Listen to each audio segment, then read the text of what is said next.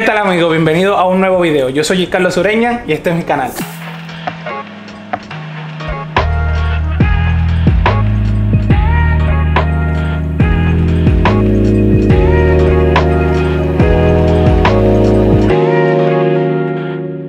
Dice el título, mucha gente cercanas a mí me habían preguntado cómo yo conocía a Clarisa Molina, Osuna y todo ese elenco. Fue una experiencia excelente, inolvidable. Eso fue un sábado, un sábado en Downtown. Yo estoy en mi casa un viernes y me escribe una amiga mía, una de las maquillistas. Me dice, Carlos, ¿qué tú vas a hacer el sábado? Yo dije, bueno, no tengo nada para ese entonces. Eso fue el año pasado, finales de abril del año pasado. Entonces, la amiga mía me dice, acompáñame el sábado. ¿Qué tú vas a hacer el sábado? Para que me haga un videito detrás de cámara del maquillaje de, Clarisa, que es la protagonista, y un sinnúmero de actrices y actores que van a estar ahí. O sea, que yo desconocía en verdad. Había escuchado, pero no era que le daba seguimiento. Yo le dije, ah, bueno, pues está bien, yo no tengo nada que hacer. Pues fuimos el sábado, yo estoy ahí grabando normal, haciendo mi trabajo. Ah, hola, hola, muy amena ella, todo bien. Cuando en una la están maquillando y ella sacó el celular tipo así y se está haciendo como una foto. Entonces yo estoy detrás, yo estoy grabando y yo para no salir en su foto, que ella está así, yo me muevo, me muevo. Entonces veo que ella está tipo así. Y, fu, y como buscándome, yo, pero yo, no quiero salir, en verdad, porque estaba cosita. Entonces, ella era que estaba como, y después yo me di cuenta como que era que estaba jugando y vaina. Entonces, tiró la foto. La primera foto que nos tiramos, ella fue que la tiró con su celular. ¿Y qué? Después que estoy ahí, entonces yo salgo, ella sale al rato después que la maquillan y está con su manejador y con otro muchacho, un estilista muy reconocido de aquí, que no recuerdo el nombre ahora. Entonces están ahí, yo sigo grabando y afuera del camerino están haciendo la sesión de fotos que iban para la portada. Entonces yo estoy grabando, en una como que me miran y se ríen. Yo, miro para atrás y no hay nadie, o sea, que conmigo. Y yo, bueno, pues está bien, hola, también. Y después me dicen, ve acá. Y yo, ah. Tengo que hablar contigo. Está bien. ¿Con quién tú trabajas? ¿Tú eres independiente? Yo le dije, sí, yo trabajo independiente. Ahora mismo ando con mi amiga que le estoy haciendo el videito y me dijo, ah, pues tú eres el hombre. Y yo, ah, sí, está bien. O sea, yo no sé. Ella me dijo, tú eres el hombre. Y yo le dije, yo soy el hombre. Entonces agarró y me dijo, dame tu número, me dice el manager, que voy a necesitar de ti, de tu servicio, para que me grabes el detrás de cámara de la película a Clarisa y eso. Y yo, ok, como que, qué interesante, pero no me hice mucha ilusión porque en este mundo a veces piden el número y no llaman, o sea, ya yo estaba como acostumbrado que no le hacía mucha ilusión a, tales cosas cuando me pedían el número. Yo, ah, sí, está bien. Me dice después, sigue grabando ahora ella, que la grabe y yo seguí grabando ahí. Después me dijo, ¿tú tienes visa? Ahí mismo, a ratico después, yo le dije, no, me dijo, mío. Qué mal. Eso fue finales de, de abril, principios de mayo. No le di mente seguir. Y después yo no sabía que ellos vivían en Miami. Cuando pasa todo eso, pasa una semana, no me llaman, no nada. Y yo, ah, pues está bien. Después, entonces agarra casi dos semanas, me escribe, hey, hola, soy, soy tal. Mira, te tengo pendiente. Lo que pasa es que hemos tenido mucho trabajo aquí en Miami. Nosotros vivimos aquí en Miami. Y yo, ah, ok. Pero mira, te tengo pendiente. Te voy a mandar la fecha tentativa de cuándo, cuándo va a ser el rodaje allá en República Dominicana. Y yo, ah, pues está bien. Y yo, bueno, por lo menos me tiene pendiente. Me escribió, me dijo eso. Y yo, hey, me tiene pendiente con todo y todo. Yo dije, contra la vaina como que sí, de verdad. Entonces después me dijo, yo te voy a mandar la fecha, la programación de los días que vamos a rodar allá. Y yo, ah, pues está bien. Pasa una semana, pasan dos, pasan tres, casi, casi llegando a final de mes. Me llama, yo estaba en el cine, acababa de llegar al cine y me dice, hey, ¿te puedo llamar? Y yo, sí, sí, claro, tú no te ocupado. Y yo, no, no, no, yo en una fila de que para comprar una boleta que yo entrar para el cine. Entonces, él me dice, eh, me llama, dime muchacho, ¿cómo tú estás? Cuéntame, disculpa que no te había llamado, es que estábamos rodando aquí en Nueva York. Y yo, ah, ok. Entonces ahí me dijo, háblame de tus precios, cómo tú trabajas, la entrega, si es por día, por video, háblame de ti, tu manejo de, de precio y eso. Y yo le dije, le hablé, le dije mis precios, lo acomodé, se lo encontraron muy bien. Entonces me dijo, perfecto, me gusta. Entonces hablamos de cosas de confidelidad, de material que no podía salir, que sí, que no. Yo, perfecto, y cuadramos. Aún así hablamos todo eso. Yo digo, miércoles, pero Y en mi casa no saben nada todavía. Entonces yo me quedo como que, de verdad, güey. Nada, pasa eso. A los par de días me manda el listado oficial. Me dijo, mira, estas son las fechas. No te comprometes. Yo revisé mi calendario. Pa.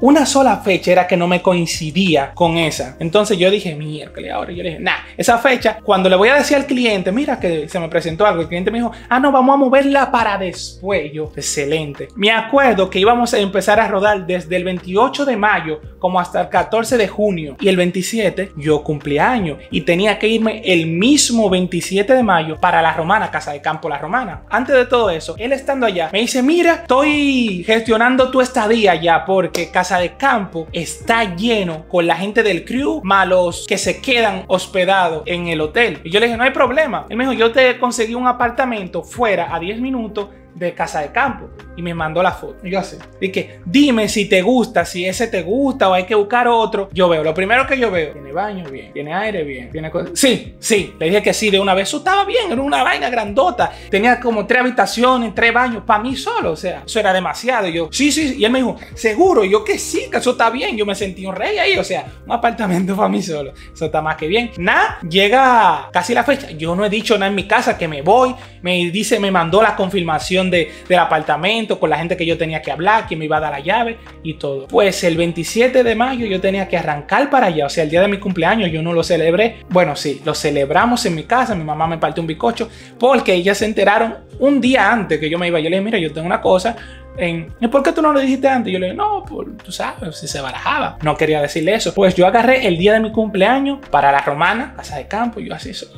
Cuando yo llegué, me, me instalé, eh, tuvimos conexión. Yo nada más había visto a Clarisa la primera vez, que fue cuando la sesión de fotos, y esa era la segunda vez que, lo, que la iba a ver. Ya ahí como más solo, no con mi amiga ni nada, que yo no conocía a más nadie, a más nadie. Yo conocí ahí, yo me fui a trabajar a la buena de Dios para allá. Al otro día 28 ella me mandó el sketch, el horario, el cronograma de cómo iba a ser todo, a qué hora empezábamos, cómo yo iba a estar, todo, el pase para entrar, todo me mandó. Habían cosas que yo desconocía de este mundo de, de, un rodaje de una película, lo que es el detrás de cámara, todo eso. Yo fui, ah, hola, hola, mis amores, y muy bien, todo bien. A mí, o sea, todavía yo estoy ahí. Yo no sé la magnitud de lo que yo estoy haciendo con la gente que yo estoy trabajando, pero todavía no sé, todavía no me creo donde estoy. Cuando ella me dice, mira, esto, cuando hagan esto, tú no grabas esto, cuando digan esto, tú no, tú no grabas esto, grabas, ok, nos cogimos así. Entonces yo estaba en el motorhome con ella y su manager, nosotros tres ahí, y un trato, sea, increíble. Yo le voy a poner algunas imágenes de las que sí se puede poner, porque es otro dato que no han salido todavía los detrás de cámara. Próximamente van a salir, pero por el canal de ella. Ella va a avisar cuando vayan a salir. Entonces, ¡Ahora!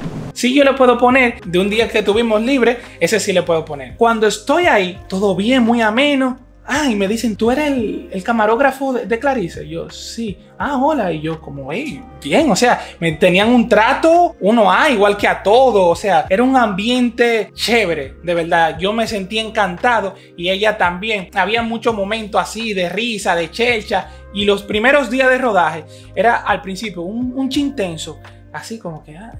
Pero después que pasa un día, dos días, ahí ya todo el mundo se creía como familia, tú veías lo caminando, ahora tú, tú comías de mi plato, yo comía del tuyo, así como, como que nada, que hay gente a veces que se creen la otra cosa, como que no, ahí todo el mundo era normal, ah, todo el mundo comía igual y eso. Entonces, en eso estamos hablando eh, el 28, el 29 grabando, el primero. En una de esas grabaciones ella me dice, ay, yo quiero ir a Dinner in the Sky, algo así, que está en Hard.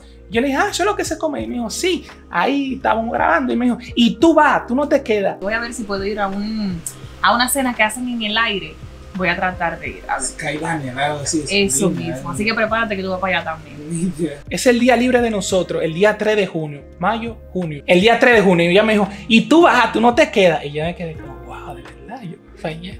Yo quería ir, pero come arriba. Sí, pero ahí me salió bien. Entonces, pues llegó el día. Fuimos allá, ese día era libre, nosotros nos grabamos, hicimos un video bien ameno, dinámico. Yo le hice muchísimas fotos con mi celular, le hicimos un video blog con, con mi celular esa fue la primera vez que yo fui a Bachata Rosa. Ahí comimos todito. Bueno, ellos dijeron, vamos a todito a pedir algo diferente para cada quien probar de lo del otro. Así tú comes de mi plato, yo como del tuyo. Y yo, miércoles, qué heavy. O sea, y ahí fue la primera vez también que yo probé el risotto. Porque todo era raro, los nombres eran raros. Yo, o sea, que lo que yo conozco, no voy a decir una cosa. Yo vi, esto tiene arroz, tiene tirita de carne, deme ese. Estaba buenísimo. Fuimos a, a, Dinner in the Sky, hicimos muchísimas fotos, muchísimos videos, cual les pondré por aquí o por aquí, por donde salga. Ustedes van a ver algunas fotos de ese día y algunos videos.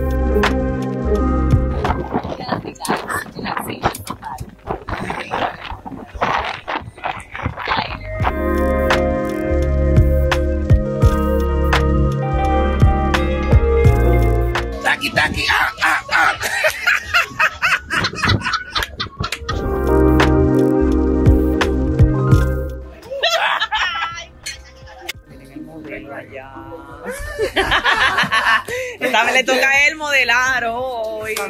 También toca modelar y vamos para allá arriba, ¿no? te Ay? Dios mío, miren para dónde vamos ahora. Vamos a volar, vamos a cenar en el cielo. Hemos terminado nuestro viaje al Ya. cielo. ¿Qué tal? Estamos vivos. ¿Y el vértigo qué? Al principio tú, tú, estás- tú subes como que, y mira, después como que te, ah, te- Sí, después ya. y al ratico tú, ah, Pero chévere, es cuando y uno vuelve, hacia abajo. Y vuelve de nuevo y como que, Y vuelve y vuelve. como que sí, como que no. Sí, como que no. Después bajamos de Punta Cana, todo bien. Al otro día había grabación en la mañana y había mucho tiempo libre. Yo tenía mucho tiempo libre a veces porque eh, en el horario, me decía, hoy toca en la mañana, grabar en la mañana, pues yo iba en la mañana. Si terminábamos, pues yo me iba allá y hacía lo que yo quiera. Yo tengo muchos amigos allá en la romana que a veces salía y me juntaba con ellos. Había días que eran completos, la noche completa, o sea, súper. El director, un amor, Fran Peroso, nítido. Ahí todito eran súper bien. Y dentro de todo eso, para que ustedes vean, o sea, el nivel así como de, de confianza y todo, o sea, yo me, yo todavía no me lo creía y yo, pero, pero ¿por qué? No sé. Bien, mi carro yo lo dejaba donde estaba el motorhome porque no íbamos siempre en el vehículo de Clarisa. Y en una yo tenía que buscar algo al supermercado, yo creo que está allá adentro, y yo tenía que buscar el carro. Y le digo yo al manager, mira, llévame. O sea, ya hablábamos, chévere, llévame al- a buscar el carro que tengo que ir al supermercado a buscar algo. Ay, no, no, no, toma tú, vete la llave, ve, ve tú y busca el guagua. Y yo, o sea, me dio la jipeta de Clarisa, una BMW así. Yo, what the fuck, really? Yo le dije, no, pero, y me dijo, sí, toma, vete, no hay, no hay problema. O sea, así, abiertamente, a confianza, toma. Y yo, wow, me sentí bien. O sea, me sentí bien, de verdad. Como, toma, vete en la guagua, no hay problema. O sea, yo fui en mi guagua a- al Nacional, creo que, que está ahí adentro. Fui muy bien. Fui con Otto, que ahí fue que conocí a Otto Santos. Mío así. Ya es mío de lo mío, duro. Entonces fuimos a cambiar unos cheques, otra cosa, y volvimos. Nítido. Ah, ¿dónde la parqueaste? Ahí, ah, bueno, está heavy. Y después él se iba, a veces, el manager que tenía que hacer una diligencia, me dijo, mira, ahí atento, chequeame a la muchacha, cualquier cosa que necesite, siempre está atento. Y yo, chévere, chévere. Hicimos una armonía, o sea, muy bien, muy chula, el trato y todo. Y en una de esas, yo estaba ahí, las fotos, hay que ser un poquito profesional en ese sentido, porque yo a veces subí el ambiente y todo, y mucha gente cercana a mí también me decía, y Carlos, dile que me mande una foto, dile que me mande un saludo, dile que me mande esto, esto y lo otro. Y no, o sea, por más cercano que yo esté a ellos, no es recomendable ni, ni muy debido. Uno está a cada rato, mira una foto, esto y lo otro, esto. No, porque ellos se cansan, o sea, son gente normal, igual que tú y que yo, que también tienen su espacio y está con una tacadera, una foto, al igual